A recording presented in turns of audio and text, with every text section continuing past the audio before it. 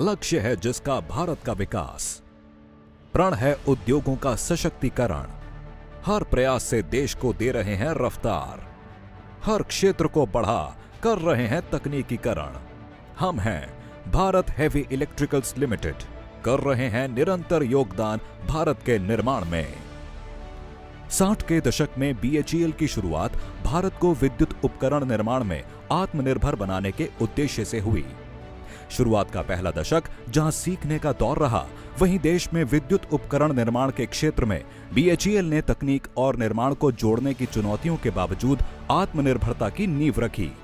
सत्तर के दशक में नीतिबद्ध तरीके से अनुसंधान, योजनाओं और प्रबंधन पर ध्यान दिया गया। अस्सी के दशक तक बीएचईएल अपनी पहचान के साथ साथ तकनीकीकरण और अन्य उद्योगों में विस्तार की तरफ़ अपने मज़बूत कदम बढ़ा चुका था। जब नब्बे के दशक में भारत का पूरा आर्थिक ढांचा बदल रहा था ग्लोबल प्लेस जो पहले सहयोगी थे, वे अब प्रतियोगी बनने लगे थे। ऐसे चुनौतीपूर्ण समय में भी बीएचईएल बदलते बाज़ार और देश की जरूरतों के साथ नए समाधानों, समीकरणों को बदलने लग गया और नई शताब्दी में नए जोश के साथ कदम रखा। नई तकनीक परियोजनाओं के समयबद्ध निष्पादन और आधारभूत विकास हेतु संपूर्ण समाधानों के साथ बीएचईएल ने भारत के निर्माण में अहम भूमिका निभाई।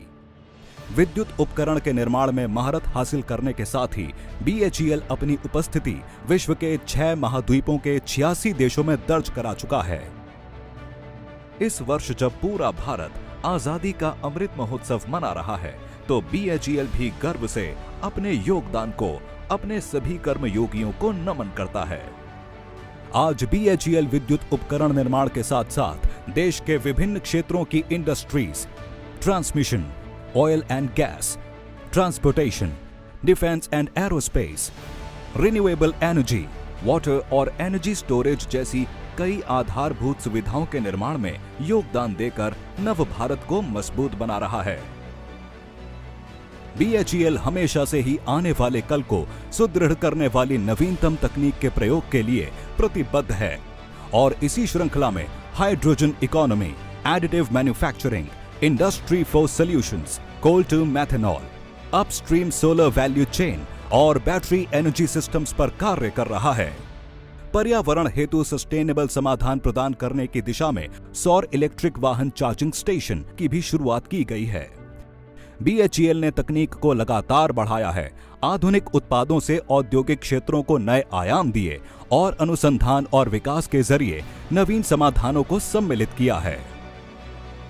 आज़ादी के अमृत महोत्सव के 75 वर्षों में, छह दशकों से देश के निर्माण में, नव भारत के विकास में बीएचईएल बढ़ा रहा है हर कदम।